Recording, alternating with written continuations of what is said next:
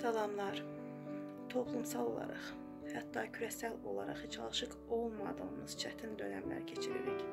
Artıq 100-dən çox ölkədə koronavirusla bağlı müəyyən ə, karantinlər tətbiq olunmuşdur ki, şükürlər olsun ki, ölkəmiz də buna cəld reaksiya vermişdir.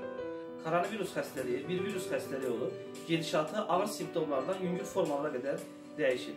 Virus ilk növbədə insanda yuxarı tənəffüs orqanlarını zədələyir. Hər birimiz övladlarımızla sağlam gələcək arzusundayıq. Yaşlı nəsil nümayəndələri, babalar, nənələr, atalar və analar. Hər zaman ən böyük qayğıya və diqqətə layiq olan bu insanların bu gün qayğıya və diqqətə ehtiyacı daha çoxdur. Sevdiklərinin hamısı dünyaya eyni dərəcədə sağlam gəlmir. Bəzilərinin sənin xüsusi qayğına ehtiyacı var.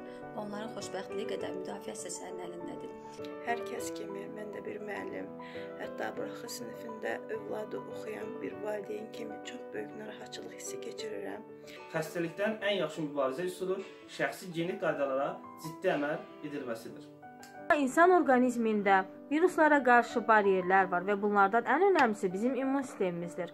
Biz immun sistemimizi gücləndirməklə və bir sıra gigiyenik qaydalara əməl etməklə xəstəliklə mübarizə apara bilərik. Təbiət içərisində olduqda bir-birinizdən ən az 1-2 metr aralı durmalı, əllə görüşməməlisiniz və bacardıqca evdən bayıra çıxmağa çalışmayın. Evdə qalın, bizim üçün məsuliyyətli olmağa çalışın.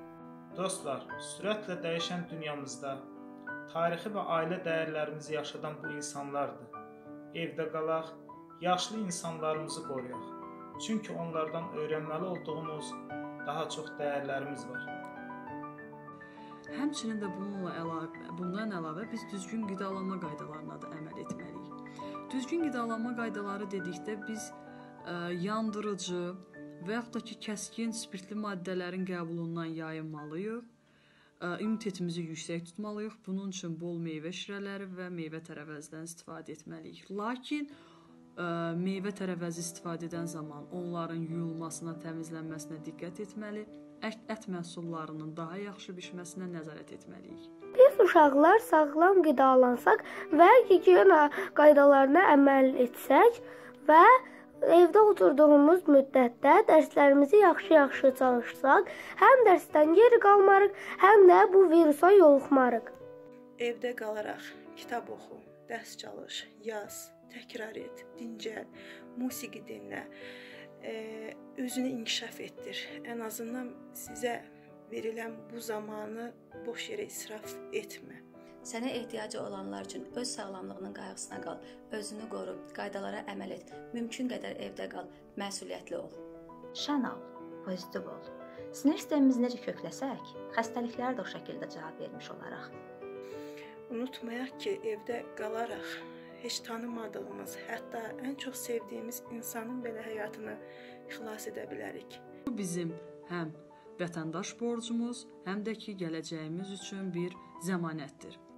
Dünyanın ağır bir sınaq qarşısında olduğu bir müddətdə sən də bir vətəndaş kimi, sən də bir bəşər övladı kimi öz borcunu bil.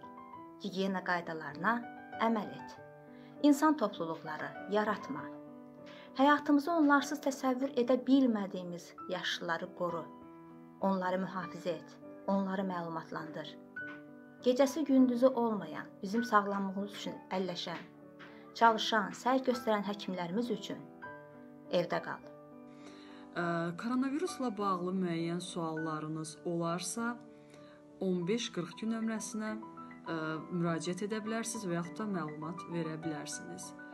Məsuliyyətli ol hashtagı ilə digər müəllimləri də bu fəallığa dəvət edirəm. Yaşamaq gözəldir. Həyatda hər nə qədər də mənfi və müsbət sürprizlərlə qarşılaşsaq da, həyat şirindir. Günəşin doğmağını gözləmə. İçində doğan günəş üzünə şölə saçsın.